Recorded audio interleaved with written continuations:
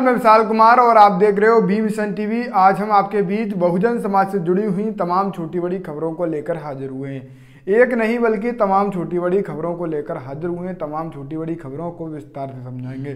साथ ही साथ एक बेहद ही महत्वपूर्ण विषय पर बातचीत करेंगे। फ़िलहाल सबसे ज़्यादा जो बड़ी खबर है, वो भीम आर्मी चीफ व आज़ाद समाज पार्टी के राष्ट्रीय अध्यक्ष चंद्रशेखर आज़ाद और बहुजन समाज पार्टी के अध्यक्ष मायावती के द्वारा लिए गए एक बहुत ही ज़्यादा अच्छे और एक बहुत ही ज़्यादा बड़े फैसले से जुड़ी हुई हैं। आप बने रहें इस वीडियो में आखिरी तक और इस वीडियो को करें ज़्यादा से ज़्यादा शेयर तो आइए हम आपको सभी खबरें विस्तार से एक एक करके समझाते हैं। सबसे पहली जो बड़ी खबर है, वो भीम आर्मी के चीफ आज़ाद समाज पार्टी के राष्ट्रीय अध्यक्ष चंद्रशेखर आज़ाद की तरफ़ से निकल कर आ रही है। चंद्रशेखर आज़ाद की, आज़ाद समाज पार्टी के कार्यकर्ता और पदाधिकारी आज आर पार की जंग का काम करेंगे। चंद्रशेखर आज़ाद चंद्रशेखर आज़ाद की पार्टी के कार्यकर्ता पदाधिकारी जैसे ही उनको पता चला कि ओबीसी आरक्षण के बिना निकाय चुनाव कराने का फैसला लिया है, वो शुरू से ही तब से लगातार सरकार के खिलाफ हल्ला बोल रहे हैं, लगातार सरकार के खिलाफ बोल रहे हैं और मांग कर रहे हैं कि ओबीसी आरक्षण के बिना अगर चुनाव हुआ तो हम एक बड़ा आंदोलन करेंगे और चंद्रशेखर आज़ाद ने इस जंग का ऐलान आज से कर दिया है। चंद्रशेखर आज़ाद ने आज से ठीक दो दिन पहले ट्वीट किया था और उन्होंने कहा था कि आज़ाद समाज पार्टी, काशीराम के जो भी कार्यकर्ता हैं, पदाधिकारी हैं, वो ओबीसी समाज की आवाज़ उठाएँ, ओबीसी समाज में पैदा हुए उन लोगों की आवाज़ बने, उनका साथ दें और उनका साथ दे भी रहे हैं। पर अफसोस की बात यह है कि ओबीसी समाज कह रहा है कि हमें आरक्षण की कोई ज़रूरत नहीं है। चंद्रशेखर आज़ाद का ट्वीट दिखाने से पहले हम आपको एक कमेंट दिखाना चाहेंगे और वो कमेंट आपको सोचने पर मजबूर कर देगा।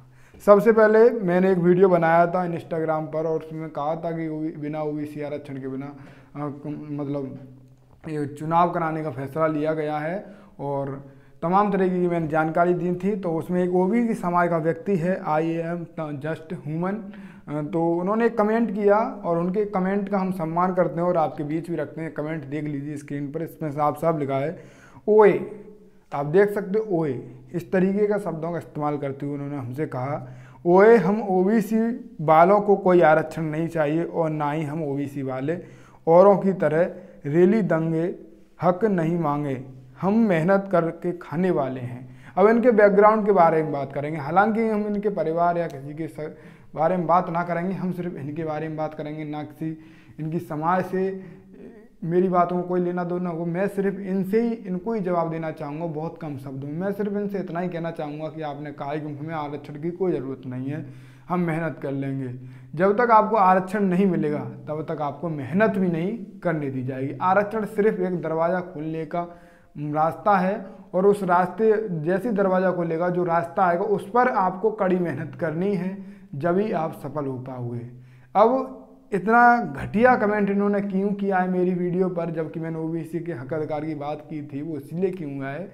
क्योंकि एक बाबा हैं मध्य प्रदेश के, और उनकी सभाओं, उनके भंडारे जो होते हैं, उनमें जो पर, यानी कि जनता जनादर है, उसको खाना परोसने का काम करते हैं। तो ये मेहनत कर रहे हैं बड़ी मेहनत कर रहे हैं, ये बहुत ज़्यादा बड़ी मेहनत है, और भगवान परमात्मा को खुश कर रहे हैं, ये बहुत ज़्यादा बड़ी मेहनत है और इसीलिए इसका साइड इफ़ेक्ट हमको देखने को, इस कमेंट के ज़रिए देखने को मिला है।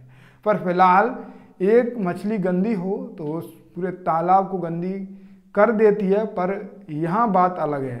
ये गंद यानी कि ये शख्स गंदी बात कर रहे हैं, गलत बात कर रहे हैं तो इसका ये मतलब नहीं कि पूरे ओबीसी समाज को आरक्षण की ज़रूरत नहीं है। आज भी ओबीसी गरीब दलित, शोषित, वंचितों को दबाया जा रहा है। उनकी घोड़ी पर चढ़ने से बरातें रोकी जा रही हैं। आई एस तक की दलित समाज से आने वाले युवाओं व्यक्तियों की बरातर रो, रोकी जा रही हैं। सुनील धनवंता जी किस तरीके से बड़ी सुरक्षा के बीच उन्होंने अपनी बारात घोड़ी पर चढ़ाई थी?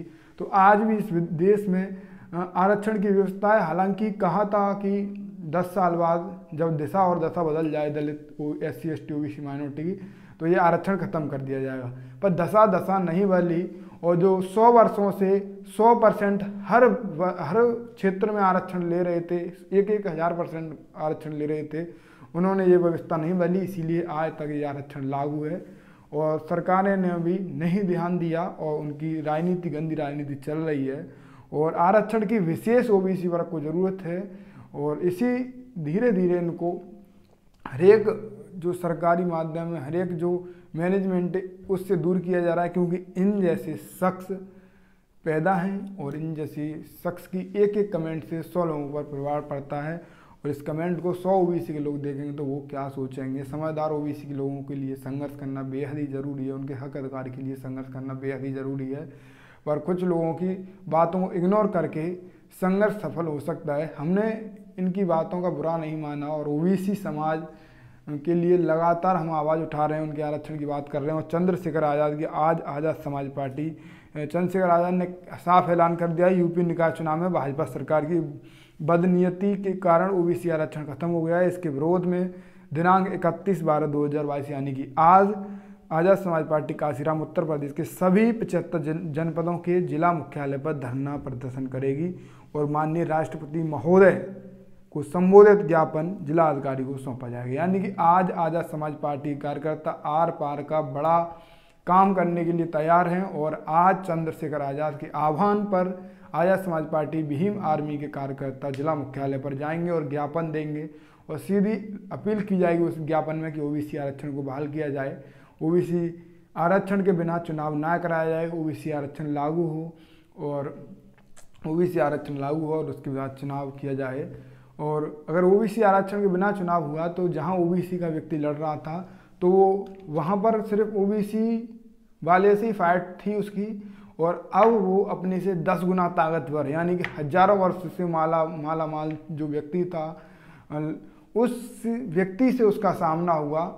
तो आप समझ सकते हो सामना कितना कितना टफ होगा ओबीसी व्यक्ति के लिए तो आप समझ सकते हो। ओबीसी के तमाम साथी चुनाव लड़ें या ना लड़ें, ये भी कोई कन्फर्म नहीं है क्योंकि जब ओबीसी सीटों को जनरल मान के चुनाव किया जाएगा तो जनरल वाले उनको जगह बिल्कुल भी नहीं देंगे और आपको पता ही है जगह कहाँ मिली है। सौ साल, आज से सौ साल पहले गंदा महिला उठाने की जगह ओबीसी समाज और दलित पिछड़ों को मिली हुई थी, वो किसी से छुपा नहीं है। फ़िलहाल मायावती चुनाव की रणनीति बनाए हुए हैं। मायावती काफ़ी ज़्यादा एक्टिव मोड में है। कल बैठक की अगली बैठक जो भी होगी उसमें हम आपसे वादा करते हैं, हम जाएँगे वहाँ, क्या एक्चुअल स्थिति है, क्या मायावती कर रही हैं चुनाव को लेकर, वो हम आपको सच्ची रिपोर्ट देंगे।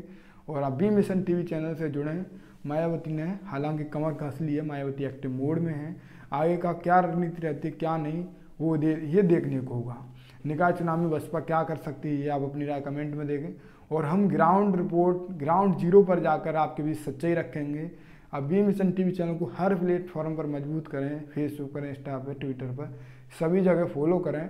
आपको बहुजन समाज से जुड़े हुए हर मुद्दे पर बातचीत हम करेंगे और आपके काम की खबर आपके बीच लेकर आएँगे। फ़िलहाल आज की इस वीडियो में इतना ही। इस वीडियो को करें ज़्यादा से ज़्यादा शेयर इन सभी खबरों पर आपकी क्या राय है, आप अपनी राय कमेंट में देना। आप देख रहे थे बी मिशन टीवी।